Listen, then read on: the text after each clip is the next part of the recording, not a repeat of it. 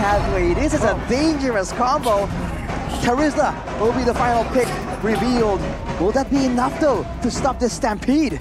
A dangerous, a royal, and a poetic victory. Will they be able to topple down the demons and their nightmares and rebuild the long-lost throne? It is RRQ and GeekFam in game number two.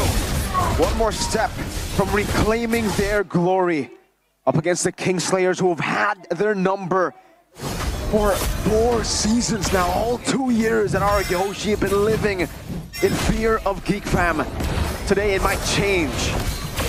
Today they start a different tone, a different tune, and looking at the clear speed from Sutsujin, he used the retreat quite early on there to get a bit of a head start. But for Vincent, he is still clearing a lot earlier, but he runs into Idach right here. As we take a look at the emblems for Tenacity for RRQ, Oof, they know what this is about. For Geek Fam though, two Tenacities, and for everyone, they're still looking for Wilderness Blessings for the Festival of Bloods. They're convinced that they can kind of make this long enough that these sustain tools, these mobility tools will come out useful for them. But Vincent though, probably spotted a little bit by Tyron. Oh, of course, Edok is being so much of a pesky threat, pushing away Beloyski and Aboy. Aboy has to respond to that. Skylar now follows up into that little skirmish that they had, securing that jungle camp. And for Vincent, he's just looking for Ooh. a, an angle. And here we go, R7, of course, your former XP laner here in MPL ID Extremer. Hey, R7, the legend of RRQ. Now we are seeing him just, you know, watching on the sidelines, but definitely still supporting RRQ. It was one once him on these picks. Let's see his reaction. Ah, there you go. there you go. R7, get, ah, let's go! Quick R7 question, gets featured twice before Jonathan Liandi gets featured once. Oh! Hey, he's the mewing god. but yeah, of showing course, Jonathan Liandi still waiting for his appearance. Never. And now the turtle will most likely be fought for as Rince has level 4. Beloyski looking for a big off. Oh, there goes the Eternal Guard. Uh-huh, now Vincent walking up, Rin still able to flicker out, Edok popping the Revitalize, trying to get Rins back to some HP, Beloyski moving forward, you can see that damage output already, Sutsujin on the turtle, Beloyski forced to flicker out, Oh! gets the call into word, Eternal Guard, knock him off, Beloyski taken out, and he has sword, the King's calling, he's popped down, Veldora, unable to use the Infernal Pursuit, Edok able to escape for a bit, but Veldora finishes through, now. Jumps up to Edok, oh, doesn't get the kill? No. finally though, turtle won't be able to find it, Sutsujin going, but it has sight, Veldora? Veldora very low, Sutsujin cannot go for it, terrifying, the cursed blast from my boy, the Spear of Destruction, not able to connect Skylar with a blazing duet. Oof, the Kings calling the declined.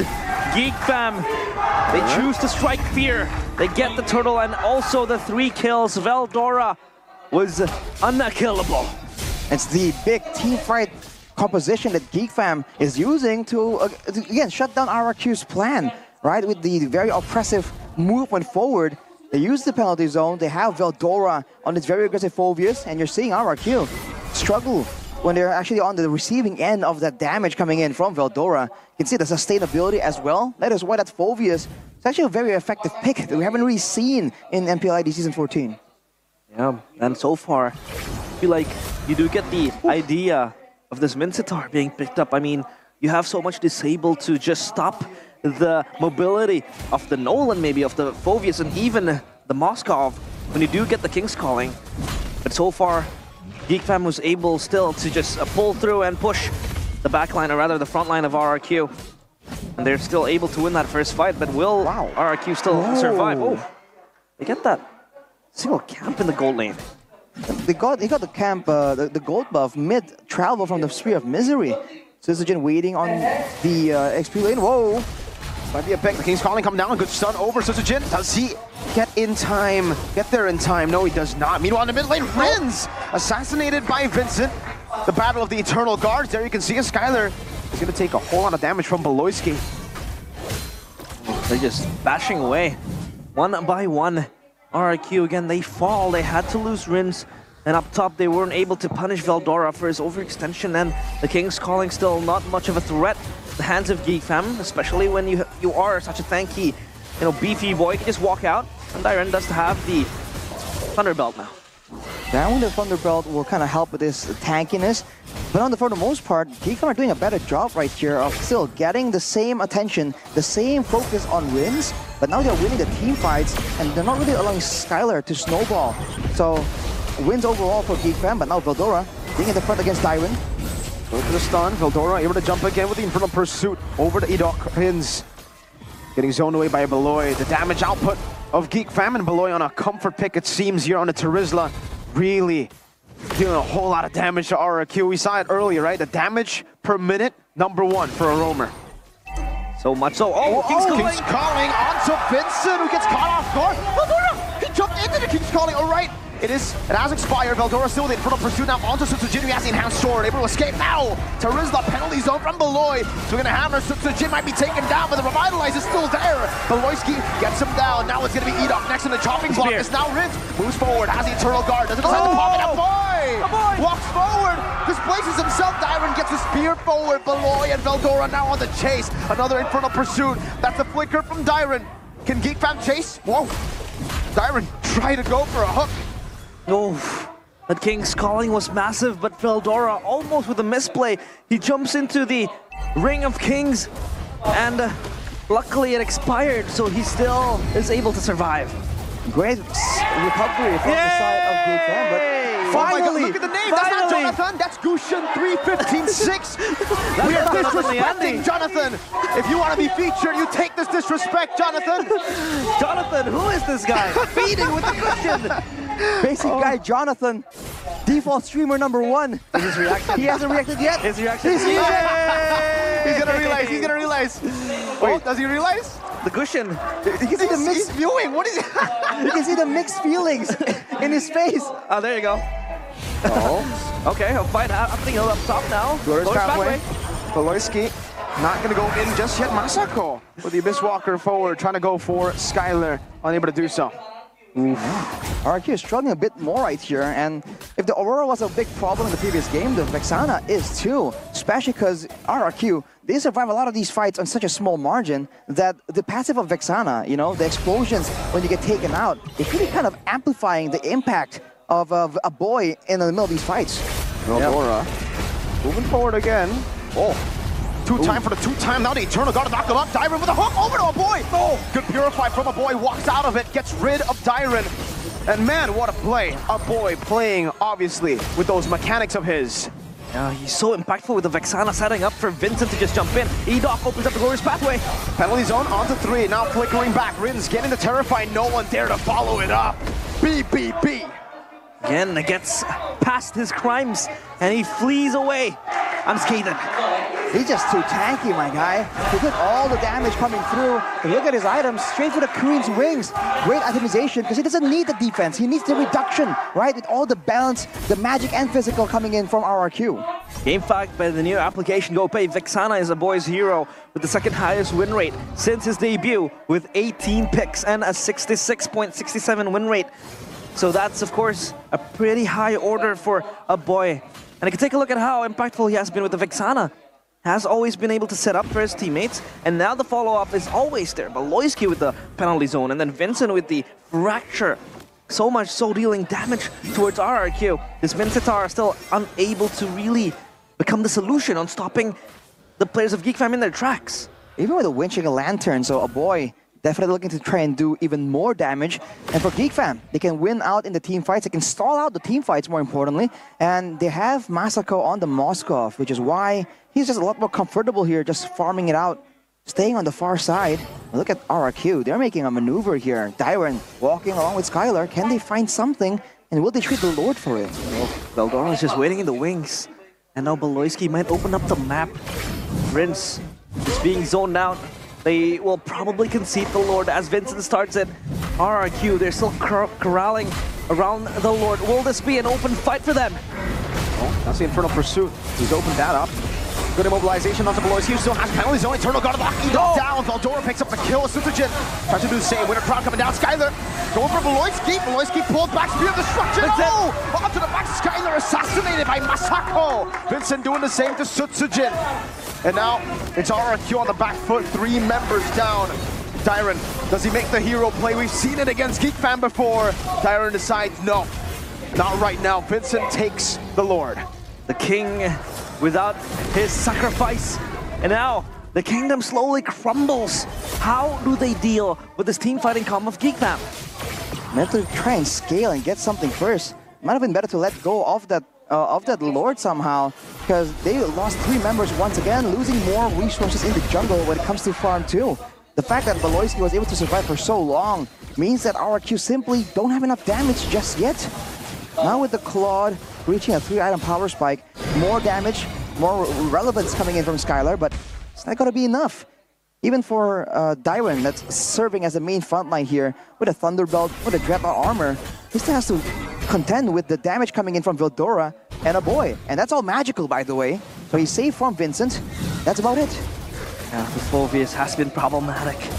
The king's calling, left unanswered. RRQ waiting still for a moment to pounce. This is the same thing that happened in game number one. They were losing in all departments. Their side lanes, you know, arguably were winning, but still, so much pressure coming in from Geek Fam means that RRQ wasn't able to really reply. But now, will the same thing happen? Will a deja vu again be felt by the Kings? Forward passives here. Already expended for the top and mid lane. Now in the bottom side though. Seems like Vincent wants to try and get something extra. Won't be enough. Arakir will have defended, but again, that isn't really the most impactful of lords. Geek Fam though have full control at an 8,000 gold lead. It's getting real tough now for the Kings.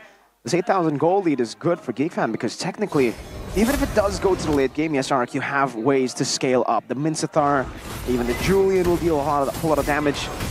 But still, for Geek Fam, it's the same. It's Masako on the Moskov. Mm-hmm. They don't get outscaled, right? Yeah, they don't. They're pretty strong as well. Tanky, oh, penalty zone by Beloyski. Catching Sutsujin, now swinging the hammer just to zone them away from the orange buff. And that, oh, here's a hook over to Beloyski. Now the stun as well, flickering out to save the Eternal Guard coming down. Sutsujin dodging away from the fracture as the Eternal Guard there was used as well by Rins, just for good measures. Again, you take a look at how much, you know, how, how important it is for Geek Fam to win out on the smallest of trades, the orange buff. Win a crown. Win a crown for Skylar. More output potential technically. Geek Fam needs to be very careful as well because RRQ, they're trying to play a lot of uh, a lot of maneuvers, right? Back and forth, back and forth, baiting in and out, trying to make Geek Fam expend their spells. If Geek Fam go for a fight, use the penalty zone, that is the only real engage tool they have. You have to remember, Beloyski the Roamer is the Terizla. If like earlier, they were able to walk out of it and then re-engage, there's a potential for RRQ to win out on this. Because if you look at the composition, RRQ have a lot more ways to go and maneuver around, move forwards and backwards, or even go for flanks. Whereas for Geek Fam, it's about winning that team fight, right? So if they don't really get the team fight that they want, they don't get RRQ to commit on that one team fight, it's a whole different story. Mm-hmm. And now the Lord next on their eyes, but it's RRQ who presumably starts it first just to poke it and maybe bait Geek Fam into thinking that they want to commit. But Dyron with the pull now. Going on to Beloyski. Eternal Guard knocking him out. Penalties on as well, locking him down. So it's Jin now with the rotation. Spear Destruction connecting on Edok. And Veldora jumps in. Revitalize coming down as well. Edok not able to survive despite that. Infernal pursuit from Veldora. The King's Calling comes down. Skylar with the winner crown and the Blazing Duet. Not enough to take him down. Spear of Misery oh. gets him out. But he pins him down with Sutsujin. 3-4-0. How? Wow, the Kingslayers. Oof. Too much crowd control, man. Eternal Guard. Even Veldora's knock up there, the wave, it just stops everything in its tracks. The fact, the fact that Edok tried to get out there, he was surviving for so, so long, popped the glorious pathway, it just wasn't enough. He just wasn't allowed to move at all. The second component of shutting down the high loss is that crowd control, and Geek Fam absolutely have RRQ's number on this one. 10,000 gold lead. As RRQ are gonna try and contend to try and defend against a Lord against a full-on team fight. They're going to be forced into a bit of a front-to-back once more, unless they do something crazy, which they already tried, by the way, with the Winter Crown Blazing Duet attempt. This game is looking bleak for RRQ. And the bigger picture, right? It seems like RRQ, they don't really have anything to counter, you know, Geek Fam's pressure and the threats coming in. They're all stacked up. Veldora still deathless, and Vincent so much items, but now penalty zone. Beloy with a penalty zone, locking him down. Oh, Tyron's gonna be caught. Pops in the King's calling before that. Don't have the Glorious Pathway with Skylar going for the Blazing Duet. yet. Maloski buys immortality in time. Skylar, there's a whole lot of damage. Veldora pops into Vengeance. The Lord is still in the mid lane. At half HP, RQ will be able to deal with him. A Geek Fam take the base turret up top. Skylar, BMI backwards to safety. Vincent hovering over Beloy, has that immortality still. It wasn't popped earlier. Vincent waiting for the moment to actually jump in. Skylar's got to be clinical. Gets one immortality, jumps back, dodges away from the curse blast there. And now the enhanced sword coming down, Winter Crown bought and used by Maloyski already. Masako. Doesn't have the immortality just yet. The waves are coming down. So Satan knocked and Masako with the spears. Skylar walking forward, a blazing duet, but Geek Fam show why they are the King Slayers. Again, crawling and crawling, spreading terror and fear, striking in the eyes of the kings. The kings calling left and answered, not enough to take down their slayers. We were a bit confused with the final pick, the Terizla Rome.